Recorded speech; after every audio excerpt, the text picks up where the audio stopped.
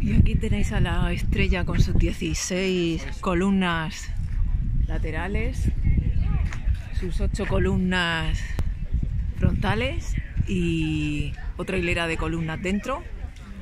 Y adentro del todo la escultura de Atenea de 12 metros de largo, de alto, eh, que estaba hecha de marfil y oro. Eh, la, la compró un coleccionista y luego al coleccionista se le quemó la casa. Así que eso ya nada, se ha perdido. Pero bueno, pues no sé si el vídeo refleja lo impresionante. No hay ninguna línea recta en el Partenón.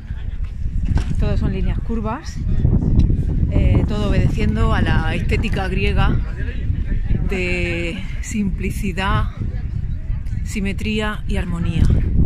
No hay ninguna línea recta porque en la naturaleza no hay líneas rectas y porque el ojo deforma la línea recta y la convierte en una curva hacia abajo cuando cae la luz. Entonces, el que dirigió la obra del Partenón, que era Fidias, como bien sabéis, era escultor, no arquitecto.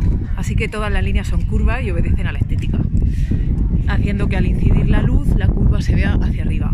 Si prolongáramos las columnas, eh, al final el Partenón sería una pirámide, es decir, hacia arriba. No sé si se aprecia ahí la curvatura de- del podio, pero vamos, es de una belleza, es de una belleza increíble. Aquí está media Europa, por lo menos. Y, y yo ya he ido a mojar la gorra, porque cae una buena.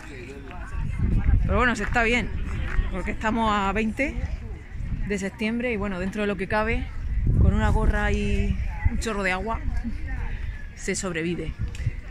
Ahí, de nuevo el Erestation y toda Atenas.